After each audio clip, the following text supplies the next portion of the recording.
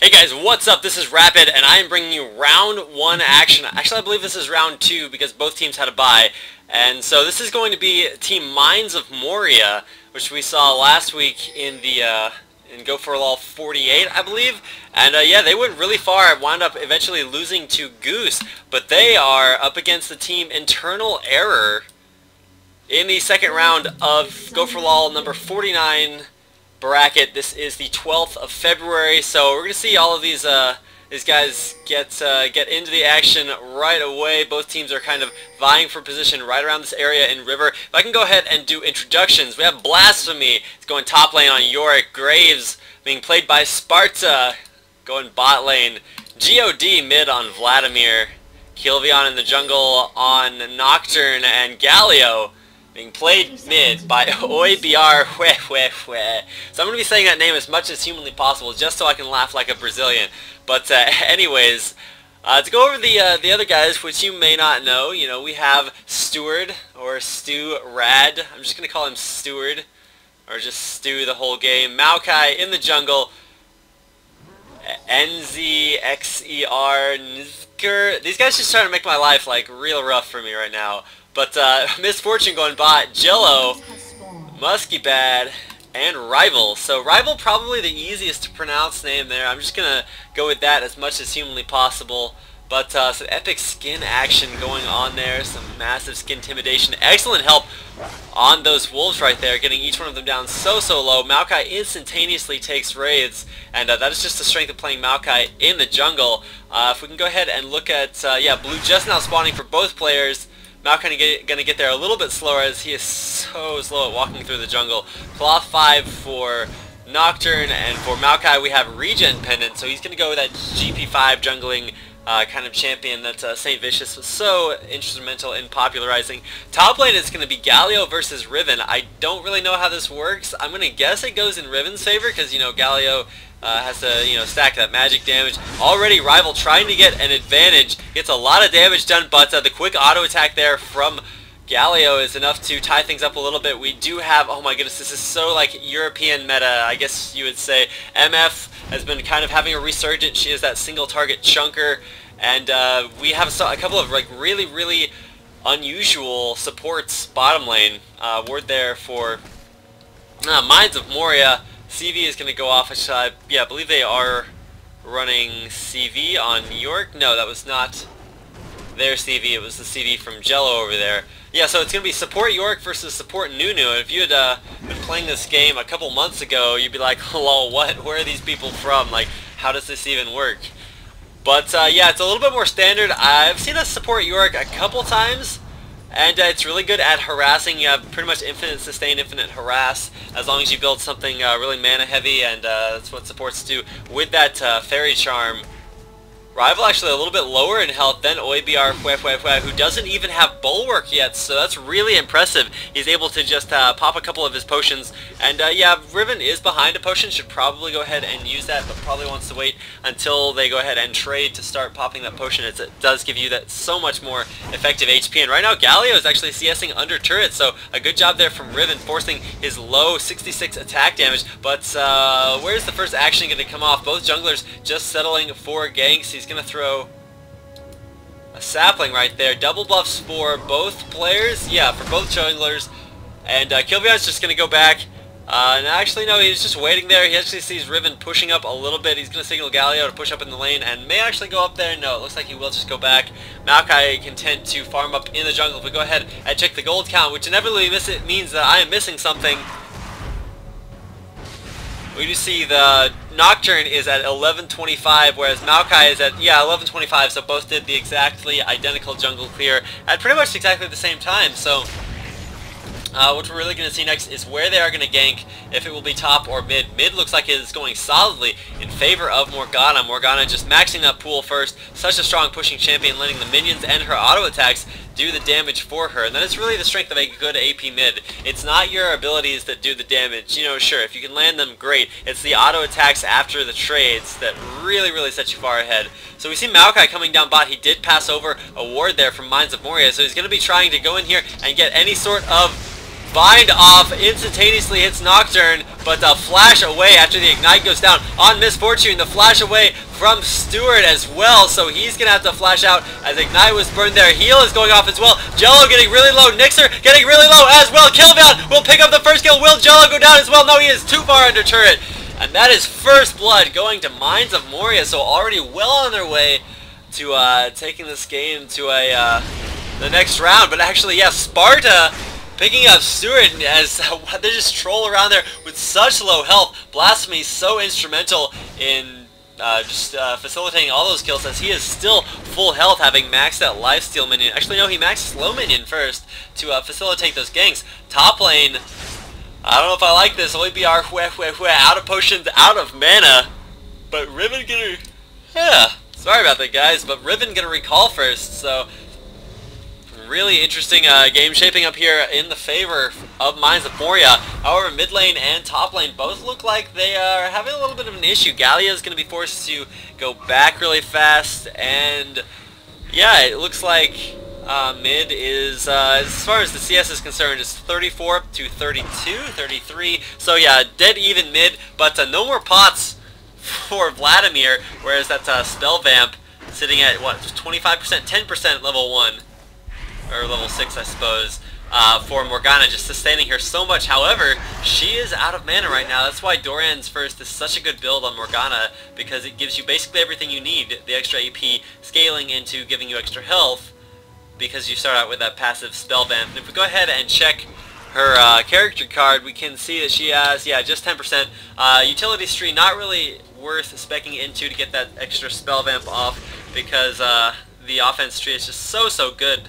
Maokai actually coming around behind Sparta. They did not have that warded, and a major, major problem. He's going to go on to Sparta. I don't think that was the right choice. Sparta can dash out of there, and Blastphemy, yeah, just going to get harassed a little bit. Content to walk in there. He knows that Nocturne is waiting in the wings. Is only level 5. Is he almost level 6? He just needs to get one more creep kill. Actually, the ward going off, and the fear onto Stewart. He is in trouble. They're pinging onto him. Morgana is actually going to come down, and that will protect Stewart from running away from that uh, unsuccessful gank bot lane. So that is, uh, you know, it's a little bit something. You got to take what you can get. Uh, wasting the time of Nocturne just kind of sitting down there for a while. He's actually going to go take wraiths and uh, really good warding here.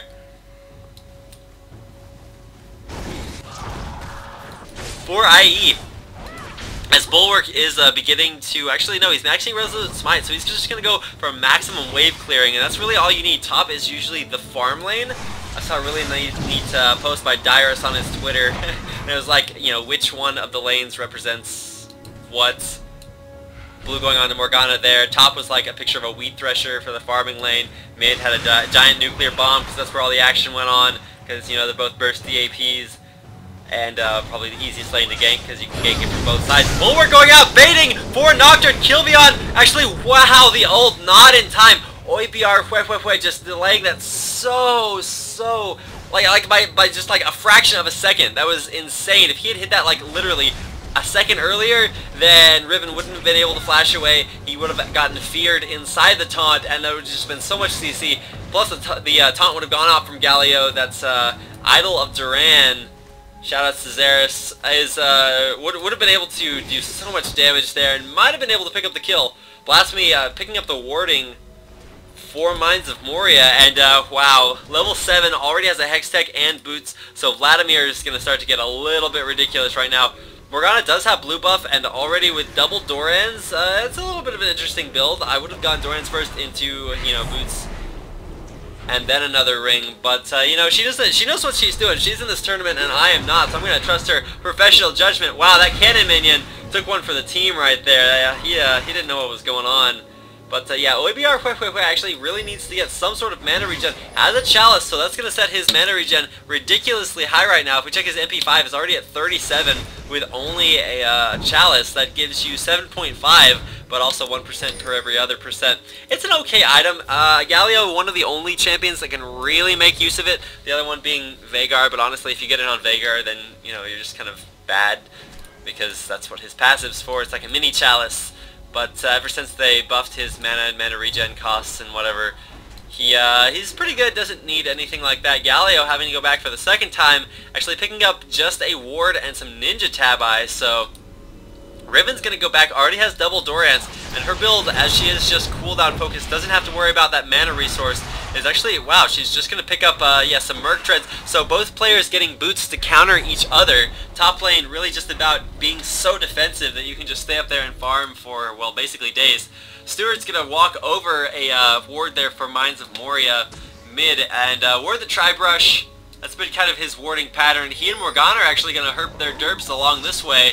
They find God walking down, but uh, the the midget is not in place. He's going to stay there really lonely, just waiting to explode into a lonely box of loneliness. The spell shield is good enough to block the ult, but so much CC going up there on Maokai. Kilvion is actually really low, but the ult going down. Will Kilvion actually go down? He's going to get out of there alive. So much damage going down by Graves, but uh, Stewart taking so much of that damage. Meanwhile, the exhaust going down. Musky Bad picks up God. The flash over. Do we see an ult? Oh, actually, the ult from Nunu is going to go off. There's not enough. Actually catches MF in that too. The explosion is not good enough to pick up IE. Will he actually go down? Smart is getting so low. He just needs to pick up one of them. They're such low health. Blastphemy's going to come in here. He's going to be able to get something out. He has the Ignite. He has the ulted Graves. So two Graves right here. Is it going to be enough to pick up Stewart? The ult going in from Doctor. Able to pick up that kill. He dies for it though. So one for one right there. Three to two. Still the kill advantage for Mines of Moria, and oh my goodness, this game is shaping up to be intense. But meanwhile, Rivals just said, yo dog, I can take turrets like a boss because you're actually not here for, well, basically forever.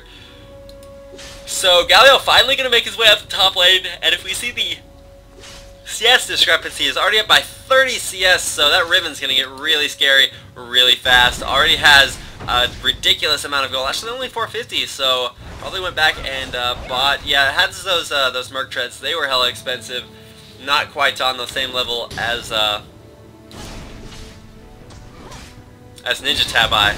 Sorry, I was thinking, I was gonna say dodge boots, and I was like, derp, they don't dodge anymore. So I definitely need to remedy that. And uh, Galio actually running away, not what you really want to do. He actually misses Resolute Smite and blows the cooldown on Bulwark too. So OBR Huehue is just going to have to like chill out and try to clear some waves right now. He is coming out ahead because of that uh, Bulwark actually just taking, you know, any damage at all. Heals him up so, so much.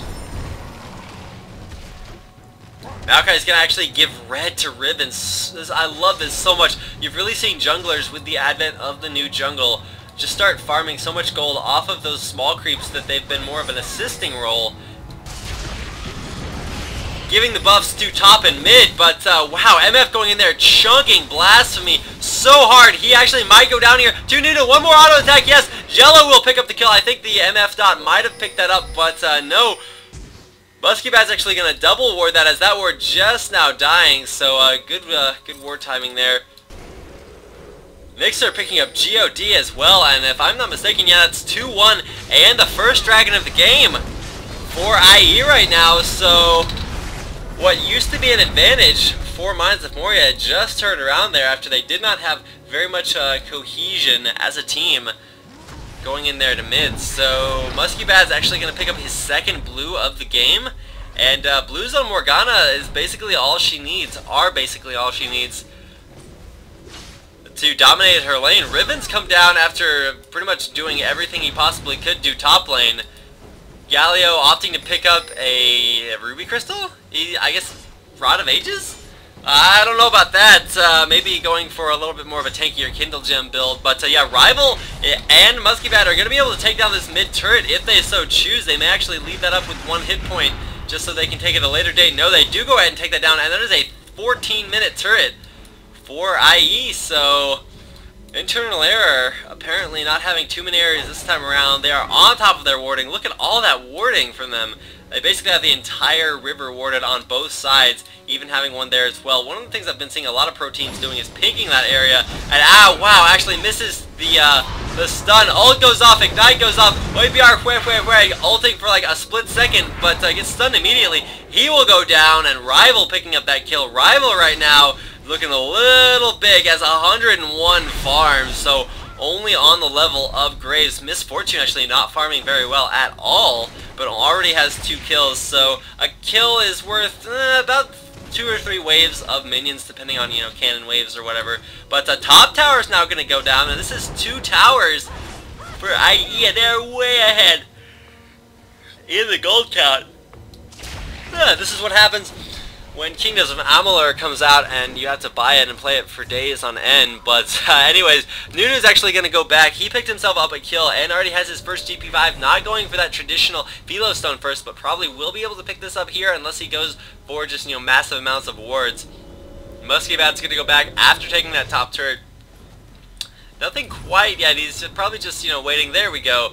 Stone picked up, but actually, oh my goodness, if he doesn't pick up wards, that is so bad. You really want to be able to buy wards, and if you get greedy, then...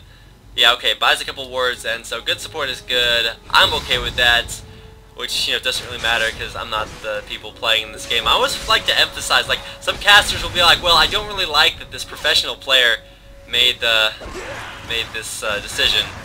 So let me uh, respond real fast. Uh, five minutes. May have to actually go and uh, leave this game unconcluded, but hopefully this will serve to help both teams realize what they did well and what they did not do well. Stewart's actually going to go through mid. Already has an Oracle, so those double GP5s paying off extremely effectively. So much gold per 5. And actually shielding Maokai, he's going to go Rambo mode way deep in the enemy jungle, and they're just trolling around here. They're going to go actually behind Sparta. Sparta does not know what's up. He They have awarded every single ward, and he is so dead right now. There's absolutely nothing he can do. Actually, dodges the Dark Binding, so dashes through. Will he be able to get out? No, the Ignite even coming down, so Muskie Bat picking up yet another kill. 3 to 6 is the kills, already up almost, uh, yeah, 2.5k gold at uh, 16 minutes into the game. And wow, this is absolutely incredible. I have not seen a team turn this around so subtly. It's just like, you know, each individual team wins their lanes and once, you know, it's like, you know, win your game, lane, win the game, which is kind of what's happening right now. Um, five members, actually just four members, Rival coming in there, to group up for what is to be the first team fight of the game. Galio's ult is currently off of cooldown. So the ult going out there from Nunu, they're going to have to walk out of that. It does not do almost any damage at all. God was able to get out of there unscathed. They're just going to back off. They know they uh, they blew the Nunu ult. They really have to back out. And uh, they may actually go uh, contest Dragon right now. Maokai's really low, so probably not. They're probably just going to uh, back off and go by. So Uh, actually, if we see yeah, positioning, both teams, yeah, probably, yeah, they are going to go back and buy, stack up their HP, and look to position around Baron as soon as both of them, uh, you know, get their prerequisite items. We see a lot of gold on Nocturne. He's kind of floating rich. Could go back and get a, uh, Brutalizer, really good item on Nocturne as those cooldowns on his fear are so important. He's going to opt for the Giant's Belt instead, so he's looking to be really tanky, and uh, that's kind of the way you have to build Nocturne. If you build him all damage, you ult literally into the middle of absolutely everyone of the enemy team, and then explode because you're in the middle of the enemy team, and you've just scared them all, so they're all going to focus you immediately. So you really have to build tank. So if you do build tank, then, you know, sure that's less damage, but they're all focusing somebody who takes a long time to kill.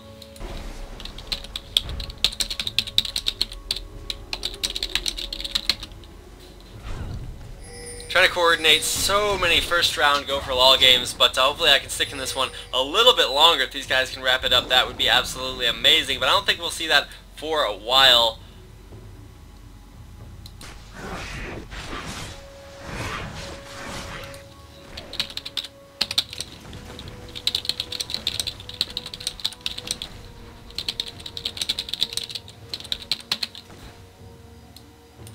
Both teams kind of uh, grouping up here trying to uh, both micromanage, cast, and also, oh wow, Nocturne, if he had had one more hit from Graves there, would have been able to kill that ward. You know, it's the small victories that are going to that are going to count.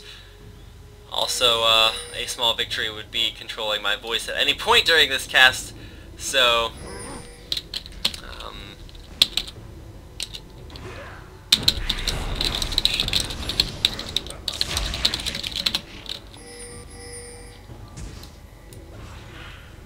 so hard to spectate and uh, moderate at the same time. But uh, we're going to see Sparta actually moving there aggressively on Riven. And you know, that was really Riven's decision to, uh, to back off there.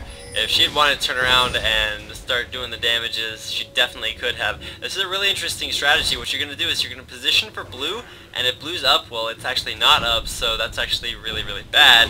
But you position for blue, and then if you don't get blue,